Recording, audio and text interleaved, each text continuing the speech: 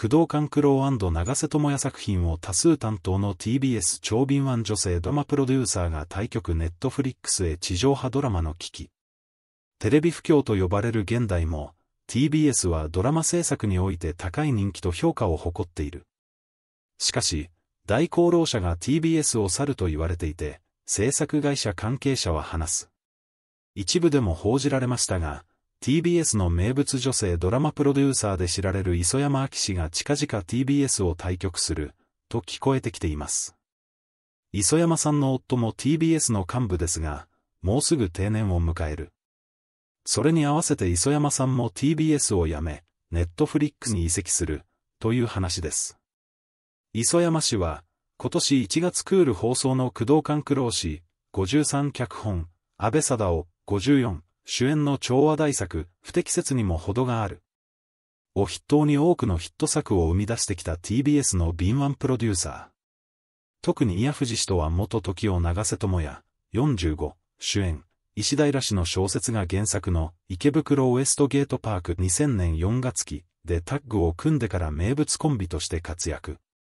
岡田純一、43、主演の木更津キャッツアイ02年1月期長瀬と岡田のダブル主演のタイガードラゴン05年4月期などなど、多くのオリジナル作品を生み出し続けてきたことで知られている。長瀬さんと磯山さんの信頼関係は深かったですよね。長瀬さんは21年3月末で時代から脱退、旧ジャニーズ事務所からも退所しましたが、その前の最後の作品になったのが磯山さんがプロデューサーを務め、宮藤氏が脚本を書いた、俺の家の話、TBS 系、ですよね。磯山さんは同作放送時のインタビューで主演の長瀬さんのスケールの大きさを絶賛し、どんな設定でも成立させてくれるスーパーマンと称していましたが、長瀬さんも熱い信頼を多く磯山さんと宮藤氏の作品だからこそ、最後の作品に選んだというところはあるでしょうね。そんな磯山さんは、すでにネトフリでも実績を作っています。TBS は21年10月にネトフリとライセンス契約を締結し、新作ドラマ3本を全世界に向けて配信していくプロジェクトがあります。その一つである松坂桃李さん、35、主演の離婚しようよ23年6月配信を担当していたのが、磯山さんでした。同作は、脚本が宮藤氏に加え、ラブストーリーの名手と名高い大石静香さん、72、と共同である点、錦戸亮さん、39の出演で大変に注目を集めた作品でした全道。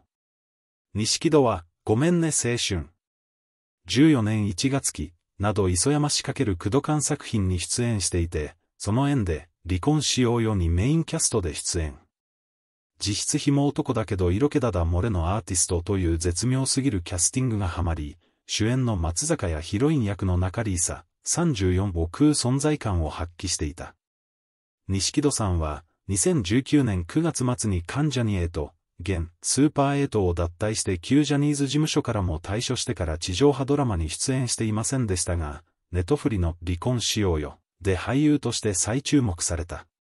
そして、1月のふてほどで旧ジャニーズ退所後初、トレース科総研の段19年1月期、フジテレビ系以来5年ぶりの地上波ドラマ復帰も叶えました。これも、磯山さんの存在が大きかったことが明らかになっています。全道。